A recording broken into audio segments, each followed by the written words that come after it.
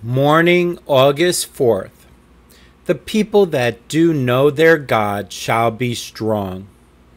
Daniel 11, verse 32. Every believer understands that to know God is the highest and best form of knowledge. And this spiritual knowledge is a source of strength to the Christian. It strengthens his faith.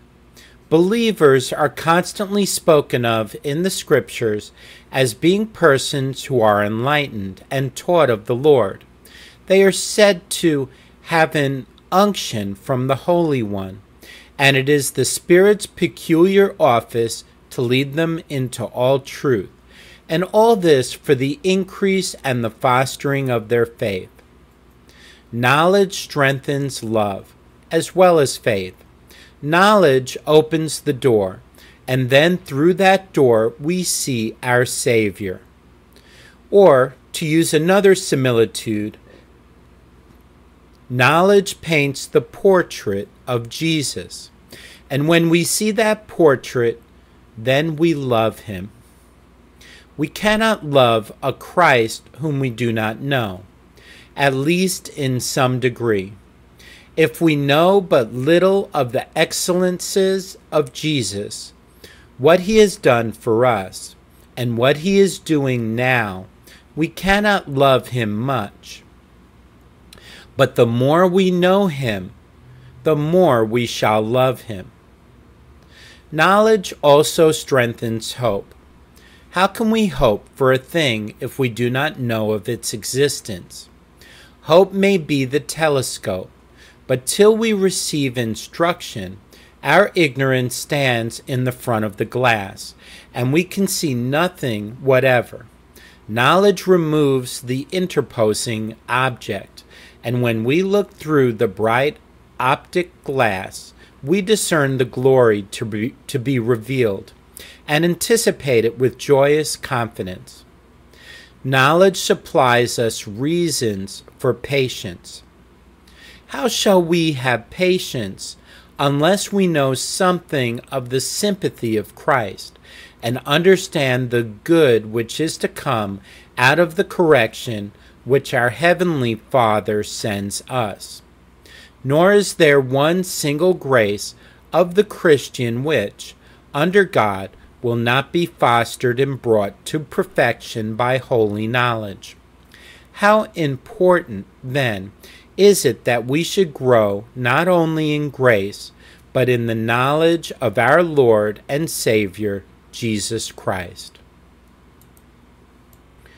August 4th created in Christ Jesus unto good works. Ephesians chapter 2 verse 10.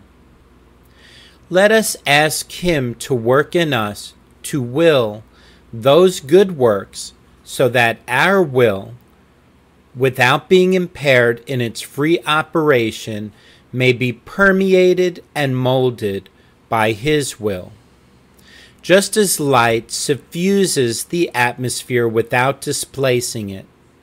And let us also expect that He will infuse into us sufficient strength that we may be able to do His will unto all pleasing.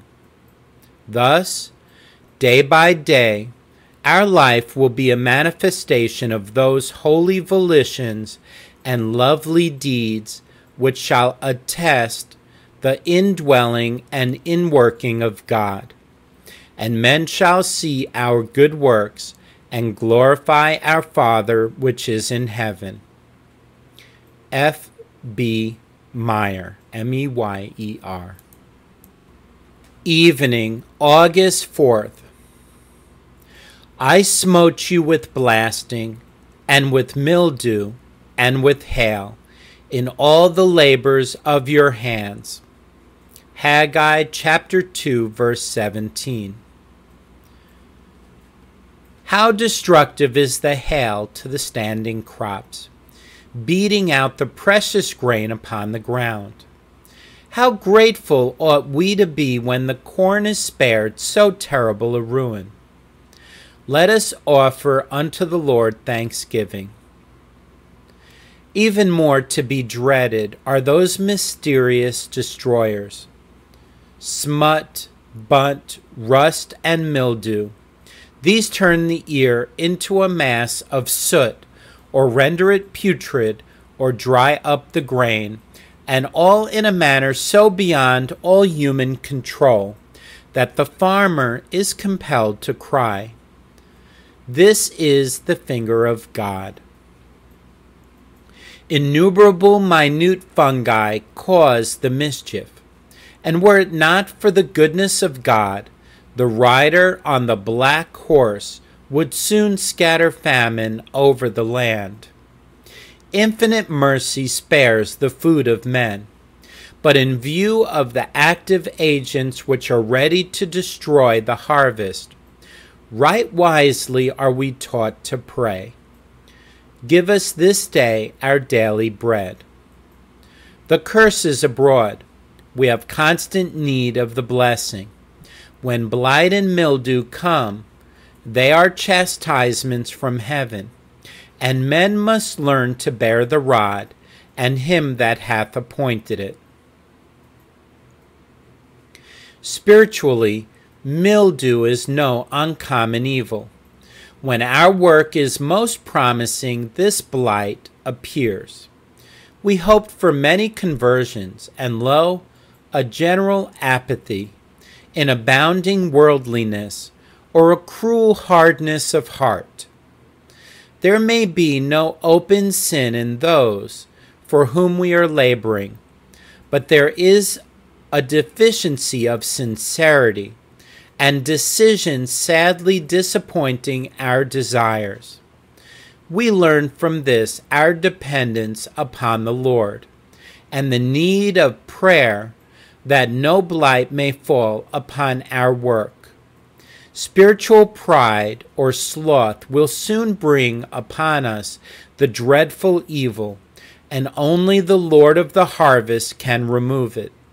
Mildew may even attack our own hearts and shrivel our prayers and religious exercises. May it please the great husbandman to avert so serious a calamity.